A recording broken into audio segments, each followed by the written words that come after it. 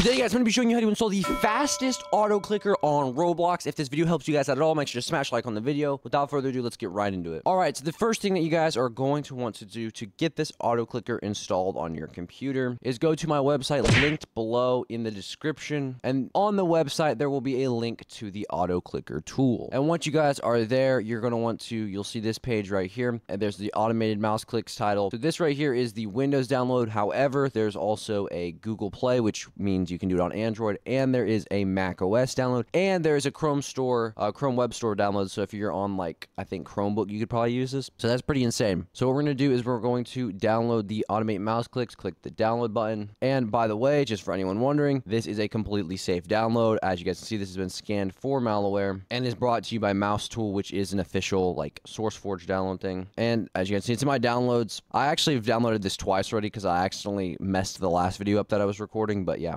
Anyways once it's downloaded, you can simply open it up. And as you guys can see, it opens up. Now, we need to go over what all this tool has in it. So it has, first off, the click interval, which is how fast it clicks. So one every one millisecond, it will click if you set it to one or, you know, whatever you're deciding, one hour, one minute, one second, one millisecond. And right here, this is what side of the mouse is clicking. So if it's the left side, the right side, or the middle click type, you could have single or double click. You can have it repeat and then stop at a certain point, or, you know, repeat until stop. So you can make it only repeat like 200 times or something something 2,000 times and then it would stop, or you can just do it until you turn it off. You can also choose, uh, pick a location on your screen for where you want it to click, which is pretty nice. Now, as you guys see where it says start F6, that is the keybind that will start it. But if we want to change it, you can go into the hotkey setting right here, click stop slash start. If I want it to be K when it starts, I just click OK. And now anytime I click K, as you guys can see, the auto clicker started. And if I hover over this, it will automatically stop it because it's automatically clicking. So real quick, I'm going to go to a CPS test. If you guys don't know what that is, it's actually clicks per second test. So this is going to tell us how fast we are clicking. So if I click K on this, so we're getting around 40 clicks per second, which is not bad at all. Turn the auto clicker off real quick. There we go. Now, can you get faster than that? Probably. I think maybe if you just put in straight up like 0.1, I don't know if you, yeah, one is the slowest that I know. I put zero one in there. I don't think that does anything. So yeah, maybe it's slightly faster, but that is still a pretty quick auto clicker. That way you guys can use this in Roblox games whenever you want. I actually recommend having the hotkey setting uh, the default. At least that's the best one for me. That's one I prefer because it's a lot easier to use. Now, guys, if you want to see the average clicks per second of me, 13 clicks per second, and that is on a this is on a touchpad. That was 14 clicks in one second. Yeah, okay. Anyways, that is exactly how you guys get an auto clicker in Roblox in 2024. If this video helped you guys out at all, please make sure to leave a like, comment, and subscribe, and I will see you guys in the next one.